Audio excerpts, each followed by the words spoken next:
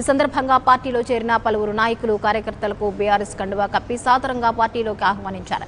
మరోవైపు జిల్లాలో ప్రజా సమస్యలపై బీఆర్ఎస్ క్షేత్రస్థాయిలో పోరాటాలకు సిద్ధమవుతోందని నియోజకవర్గాల వారీగా ప్రజా సమస్యల పరిష్కారానికి కృషి చేస్తున్నామని బీఆర్ఎస్ మహిళా నేత డాక్టర్ షర్మిల సంపత్ వెల్లడించారు. ఈ సందర్భంగా బీఆర్ఎస్ పార్టీలో కొత్తగా చేరికలు పార్టీ బలోపేతానికి తీసుకుంటున్న చర్యలపై తోట సుబ్బారావు డాక్టర్ షర్మిల సంపత్లతో నెల్లూరు నుండి మా ప్రతినిధి సాగర్ రెడ్డి మరిన్ని వివరాలను అందిస్తారు. ఆంధ్రప్రదేశ్లో బీఆర్ఎస్ పార్టీ పురుడు పోసుకుంది. తోట చంద్రశేఖరరావు ఆధ్వర్యంలో ఇప్పుడిప్పుడే అన్ని జిల్లాల్లో కూడా కమిటీలు ఏర్పడుతున్నాయి. అలాగే బీఆర్ఎస్ వైపు అనేక మంది చూస్తారు. ఈ సందర్భంగా నెల్లూరు జిల్లాలో బీఆర్ఎస్ పార్టీ రాష్ట్ర జనరల్ సెక్రటరీ తోట సుబ్బారావు ఈరోజు నెల్లూరు వచ్చారు. ఈయన రాక సందర్భంగా ఇక్కడ భారీగా యువత బీఆర్ఎస్ పార్టీ వైపు మొగ్గు చూపి కండువాలు కూడా కప్పుకున్నారు. సో ఇది ఒక సుపరిణామం చెప్పవచ్చు. బీఆర్ఎస్ పార్టీ పురుడు పోసుకునే క్ర- క్రమంలో ఇప్పుడు ఈరోజు నెల్లూరు జిల్లాలో తొలి అడుగుగా సుమారుగా కొన్ని పదుల సంఖ్యలో యువతతో పాటు అన్ని రంగాల నుంచి మీడియా రంగం నుంచి కూడా అనేక మంది బీఆర్ఎస్ పార్టీ కండవా కప్పుకొని బీఆర్ఎస్ పార్టీకి తమ మద్దతు తెలియజేశారు. భవిష్యత్తులో బీఆర్ఎస్ పార్టీని ఏ విధంగా బలోపేతం చేయబోతున్నారు అలాగే అనేక సమస్యల మీద ఏ విధంగా పోరాడబోతున్నారని చెప్పి రాష్ట్ర జనరల్ సెక్రటరీ తోట సుబ్బారావు అంతా ఉంటున్నారు ఆయన అడిగి తెలుసుకుందాం. Sir good evening sir. BRS పార్టీలో ఈరోజు నెల్లూరు జిల్లాలో ఈ మీటింగ్ పెట్టడానికి కారణం ఏంది? ఎంతమంది మీ బీఆర్ఎస్ పార్టీలో చేరారు? ఇప్పటికీ ఇంచుమించు వన్ ఫిఫ్టీ దాకా జాయిన్ అయ్యారు ఇవాళ.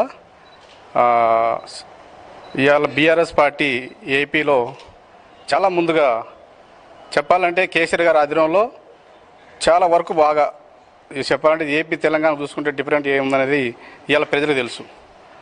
కనుక కేసీఆర్ ఆధ్వర్యంలో అన్న తోట చంద్రశేఖరరావు గారు ఐఏఎస్ రిటైర్డ్. ఆయన ఇవాళ ఏపీ అధ్యక్ష పదవి తీసుకున్నాక నిత్యం హైదరాబాద్లో ఆయన ఆఫీస్లో ఉంటూ టైం కూడా ఏం తినకుండా కూడా ప్రజల్ని ఆదరించుకుంటా ప్రజల్ని ఎంతోమంది జాయిన్ అవుతున్నారు ఏపీ నుంచి వస్తున్నారు. ఇవాళ బీఆర్ఎస్ పార్టీ వైపు ఏపీ ప్రజలు చాలామంది కూడా ఎదురు చూస్తున్నారు.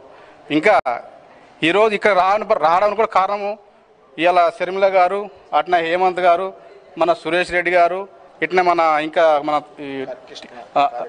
మన కార్యకర్తలు వాళ్ళందరూ కూడా ఆహ్వానించారు. అన్న ఇవాళ మన బీఆర్ఎస్ పార్టీలో జాయిన్ అవుతాకి నెల్లూరులో చాలామంది వెయిట్ చేస్తున్నారు.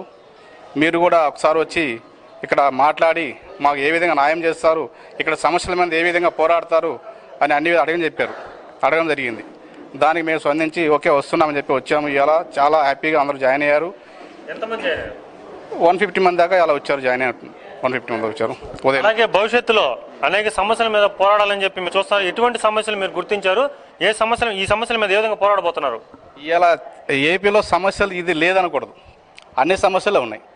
మీకు చెప్పాలంటే మీకు త్వరలో అన్ని కూడా మేము మీడియా ముందు కానీ బహిరంగ సభలు కూడా ఉంటున్నాయి. దాని విధంగా మేము అందరూ తెలియజేస్తాము. ఇవాళ ఏపీలో ఏ సమస్యలు ఉన్నాయో వాటి మీద కూడా పోరాడతానికి బీఆర్ఎస్ పార్టీ వెనకాడదు.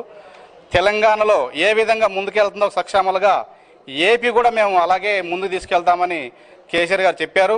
ఆయన చెప్పింది చేస్తారు. అన్న కూడా పాటిస్తారు. చంద్రశేఖర్ గారు ఆ విధంగానే ముందుకు ఈ పొందుతున్నారు కంపల్సరీ త్వరలో కమిటీలు వేస్తున్నారు.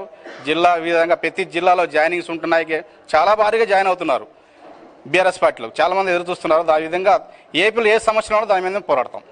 అలాగే తోట చంద్రశేఖరరావు ఒక ఐఏఎస్ మాజీ ఐఏఎస్గా నిబద్ధత కలిగి ఎంతో పేరు తెచ్చుకున్నారు. ఆయన ఆధ్వర్యంలో మీరంతా పనిచేసి ఈ రాష్ట్రంలో బీఆర్ఎస్ పార్టీని దాన్ని బలోపేతం చేయడానికి ఎటువంటి ప్రణాళికలు ఉన్నాయి?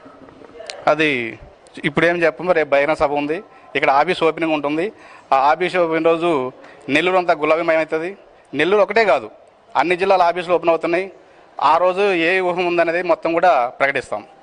అలాగే మనతో పాటు మహిళా నాయకురాలు బీఆర్ఎస్ నాయకులు డాక్టర్ ఆ, షర్మిల మనతో పాటు ఉన్నారు.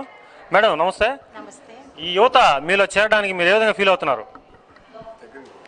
నా వెంట నా సైన్యం నా బిడ్డలు నన్ను అనుసరించి వస్తున్నారు.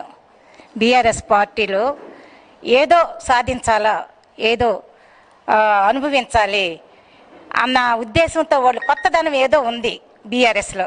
కాబట్టి దీని వెనక ఎవరున్నారు? కేసీఆర్ గారు అంటే బంగారు తెలంగాణ అధినేత. కాబట్టి ఆ తెలంగాణని అనుసరించి ఈ ఆంధ్రాలో కూడా ఆ బంగారు ఆంధ్ర చెయ్యాలన్న ఉద్దేశం వాళ్ళకి బాగా అవగాహన అయినట్టుంది. అందుకే వాళ్ళు నన్ను అనుసరించి నా మాట తీసుకున్న వెంటనే నన్ను అనుసరించారు. ఒక సైన్యంలాగా వెంబడించారు. ఆ ఆ వచ్చిన వన్ ఫిఫ్టీ మందే కాదు వెనకాల ఇంకా కొన్ని వేల మంది ఉన్నారు. వాళ్ళ